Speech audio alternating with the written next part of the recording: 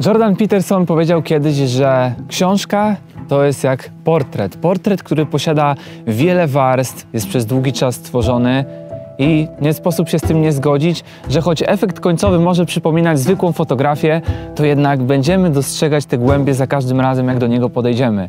I tak właśnie jest też z książkami. Książki są wielowymiarowe, jak żadna inna forma przekazu, pozwalają nam doszukiwać się i dostrzegać te głębie, to co jest ukryte gdzieś na dnie, pod tą taflą, która zawiera tylko odbicie, ale my widzimy coś więcej poza tym odbiciem. I ja siebie w procesie czytania książek widzę najlepiej w roli właśnie podróżnika, ale nie tylko po tych światach fantastycznych, ale jako takiego odkrywcy, poszukiwacza pytań. I czytanie trudnych książek wiąże się z pewnego rodzaju odwagą, bo nawet cytując książkę, o której Wam za chwilę będę chciał powiedzieć, stawiać sobie pytania to ryzykować odpowiedzi, bo właśnie te mogą zakwestionować Wasz dotychczasowy styl życia. Dlatego też wiele osób tego unika i choć idziemy przez życie z jakimiś hasłami dotyczącymi wolności, to wydaje się, że część z nas tak naprawdę bardzo się jej obawia, bardzo obawia się tego zajrzenia w głąb siebie. Żeby w pełni szeroko odmalować Wam obraz tego, czym są książki, czym są książki w moim życiu,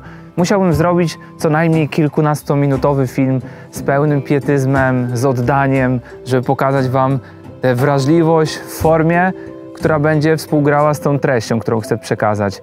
Ale żeby oddać Wam tak te esencje, nie jest to konieczne. To jak książki wpływają na umysł czytelnika, jakie mają zbawienne znaczenie, zostawmy tą całą psychologię i zagłębianie się w umysł człowieka amerykańskim naukowcom, którym raz wychodzi to lepiej, raz gorzej. Mógłbym, a w zasadzie powinienem przede wszystkim w takim filmie dziękować wszystkim osobom, które napotkałem na swojej czytelniczej drodze, które pozwoliły mi poszerzyć moje horyzonty jeszcze dalej.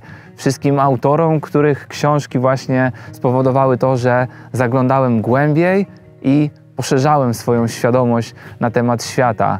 I mógłbym powiedzieć, że czytanie książek sprawia, że moje życie jest bardziej kolorowe ale czasami mam wrażenie, że jest zupełnie odwrotnie, że bardziej jednak może operuje w odcieniach szarości, bo ci z Was, którzy sięgali po trudną literaturę, literaturę faktu czy reportaże, wiedzą, że nawet w ten sposób odczuwając pewne problemy, zagłębiając się w życia i w historię pewnych bohaterów, jesteśmy w stanie przeżywać ten ból nie bezpośrednio, ale właśnie poprzez książkę. Byłbym kimś innym, gdyby nie książki, z całą pewnością nie stawiam tutaj nawet znaku zapytania, to wszystko, co dały mi książki, to w którym miejscu się teraz znajduję, to jest oczywiste. Nie byłoby tego kanału, ja nie opowiadałbym o tych książkach, gdyby właśnie nie one. Ale co dały mi w życiu najważniejszego?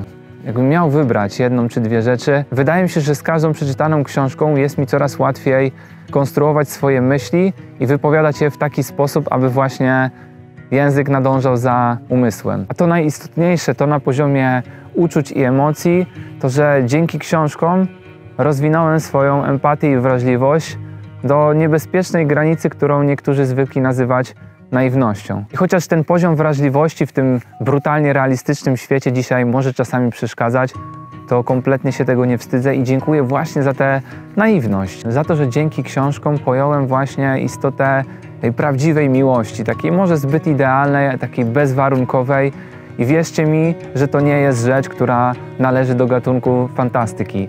Jeżeli w waszym życiu, i tego bardzo wam bym życzył, przydarzy się ta jedna na całe życie, to poczujecie się jak bohaterowie książek, o których zawsze czytaliście i że to jest możliwe, to jest realne i wtedy ta wasza naiwność czy nadmierna wrażliwość będzie uznawana za najwyższą cnotę i najwyższą wartość. I na tym kończę to swoje ckliwe pitu-pitu. Jeżeli wysłuchaliście, dziękuję, a jeżeli nie, to zapraszam teraz do opowieści o książce, która mnie właśnie popchnęła w kierunku takich refleksji.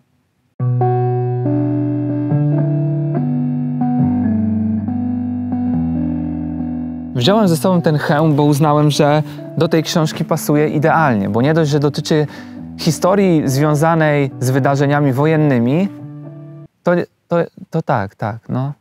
To kwintesencją tej całej książki jest sposób właśnie, jaki autor podszedł do tej historii.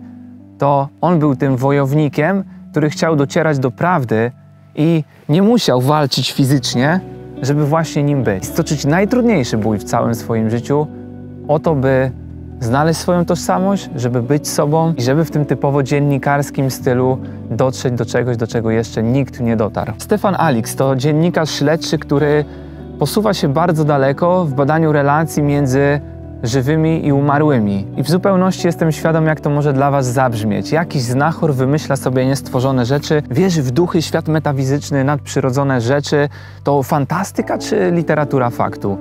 No właśnie, Stefan Alix jako dziennikarz śledczy postanowił odrobić robotę i ten sen czy tę wizję, której doznał, postanowił ją zbadać i dostarczyć nam faktów, żebyśmy uwierzyli w tą zależność świata tu i teraz i świata gdzieś indziej, gdzieś poza granicami może nawet naszego rozumienia. Zastanawiam się, czy trochę nie przesadziłem teraz w tym wstępie, bo mogliście to odebrać tak, że będę rozmawiał o książce, jakimś klasyku obyczajowym. Tymczasem ta książka zaczyna się właśnie od miłości, bo wyobraźcie sobie, że macie w rodzinie czy w domu kogoś, kto wie, że jedynym sposobem na to, aby zaznał jakiś spokój, jest wyłączenie się, przejście do jakiegoś trybu samotnika, outsidera na jakiś czas. I wasza rodzina, czy w przypadku żona tutaj naszego dziennikarza, pogodziła się z tym faktem, wiedziała, że jest mu to potrzebne, to odosobnienie, żeby wyjechał gdzieś, akurat w tym wypadku do Peru i poszukał tych pytań w samotności, bo wiedziała, że nie jest w stanie mu w tej kwestii niestety pomóc. I on w dość niespodziewany sposób otrzymał może coś, czego nawet nie oczekiwał, ale w trakcie właśnie z jednej takich chwil medytacji zobaczył żołnierza, zobaczył młodego SS-mana i ta wizja była do tego stopnia żywa, że otrzymał w niej nawet imię i nazwisko tego bohatera, którego później właśnie udało mu się powoli odszukiwać i idąc coraz w głębiej od momentu właśnie identyfikacji do tego, co się wydarzyło z tym człowiekiem, zaglądał w głąb siebie. I to był akt niesamowitej odwagi, tak przynajmniej uważam. Nie chciał zapomnieć o tej jakiejś przeszłości, nie chciał odciąć się od tego i udawać, że przyśniło się i tyle. I poszedł na całość, bo uznał, że żeby właśnie uwolnić się od tej przeszłości, należy spojrzeć jej prosto w oczy. W moim obowiązku jest Was nieco przestrzec, że gdy byłem kimś innym, nie jest łatwą książką. Nie ze względu na to, że autor sobie nie poradził tutaj, bo daje radę jako dziennikarz śledczy wprawiony opisywać tę historię tak, żeby dobrze się ją czytało, ale jest trudna pod tym względem, że mierząc się z tą historią, autor odkrywa nam też pewne bestialstwo III Rzeszy. Bestialstwo, w których granice wszelkiej moralności pękały, i nawet są akcenty związane też z Polską, nawet Włocławek się tutaj pojawia, gdzie jest opisana jedna z takich właśnie brutalnych historii. I musicie być na to po prostu gotowi. Bądźcie też gotowi na to, że jest to bardzo subiektywna opowieść, bardzo emocjonalna, mógłbym nawet powiedzieć, że taka dość intymna, bo to nie będą tylko suche fakty, to nie jest reportaż, gdzie autor bazuje tylko i wyłącznie na zgromadzonej wiedzy, na, na swoich źródłach, ale chce sam opowiedzieć to, co przeżywa, bo czuje niesłychanie mocną więź emocjonalną z tymi wydarzeniami, z tym, co się stało, z tym bohaterem, którego właśnie próbuje odnaleźć. Więc jeżeli jesteście na to gotowi, jeżeli chcecie się zmierzyć z czymś takim, Oczywiście ja bym życzył sobie, żebyście czytali, żebym nie był tylko osamotniony w tych swoich e, refleksjach nad trudnymi książkami, ale żebym mógł je podzielać także z wami, żebyście też to przeżyli.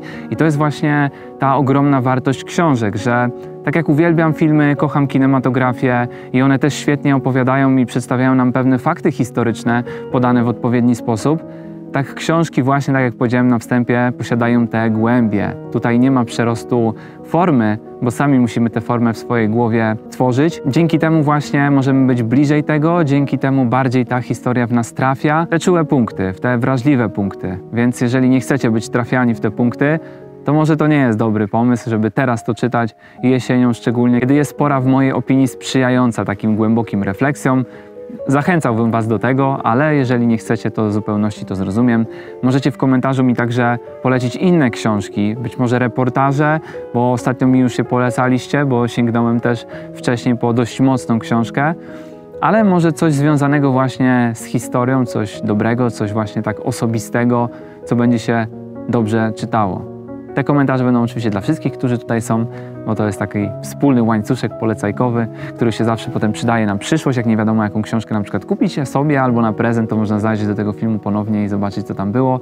Ode mnie kochani to by było na tyle. Oczywiście Instagram, pamiętajcie, bo tam są zdjęcia dla Was wrzucane, jest interakcja z Wami, mogę częściej tam z Wami pogadać niż tutaj e, i Facebook mój też zachęcam bardzo serdecznie. Tymczasem ode mnie to by było na tyle, moi drodzy.